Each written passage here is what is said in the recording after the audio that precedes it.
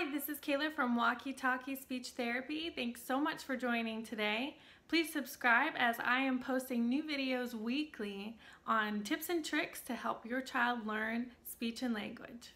Today I am sharing my top 10 signs to teach your late talker. The first sign that I teach most of my kids is more. I teach that because it's really easy to find ways to use it. I want more food, I want more kisses, I want more bubbles. You can find lots of different ways to use it. So teach more, two hands together and a touch, and then always reward with more of that item when you can. Next, I teach open.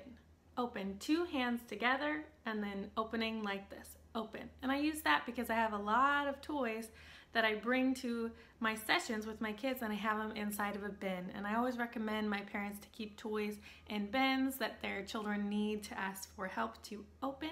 You can also use it with food. If you hand them um, food like applesauce and they can't open it, then that's an opportunity to practice open or a juice box, open. I also teach help. Toddlers who are late talkers are often very frustrated and uh, immediately turn to tantrums uh, so we want to give them a word or a sign and a word, help, to use in order to get that so they don't need to throw a tantrum, okay? So that's like a fist with the thumb up and you just pound it right into the other open hand, help.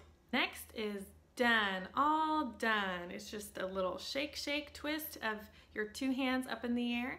And I use that after every activity is done. And I'm also looking for my toddlers to tell me done before they throw a tantrum or throw a toy to indicate that they're tired of it. So it's that's fine if you're done with it, but you just gotta tell me, tell me done. All done, good telling me. For meal times, I use eat and drink.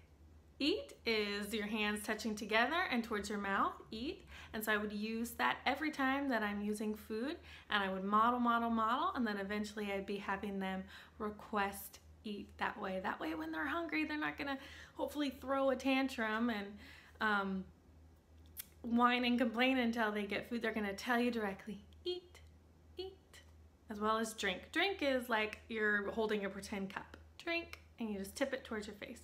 Drink, just like that.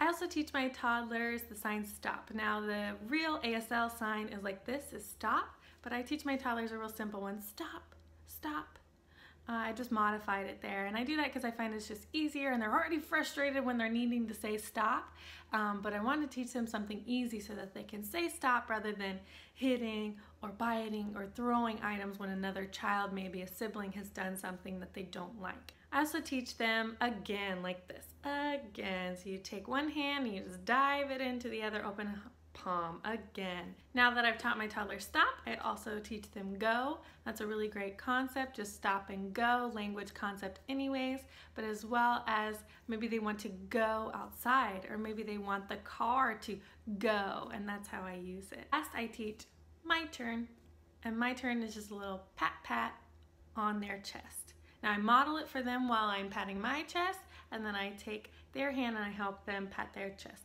my turn, and that's to help them learn the reversal of the pronoun there. And we do that with turn taking. All toddlers need to be taught how to take turns, but if they have a sign to tell you that they really want that turn, then things will go much smoother and there will be less frustration.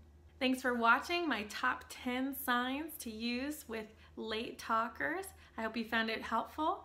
Please subscribe to this channel comment, leave a question. I'd love to make a video in response to your question, as well as share this with someone who you know might find it beneficial as well.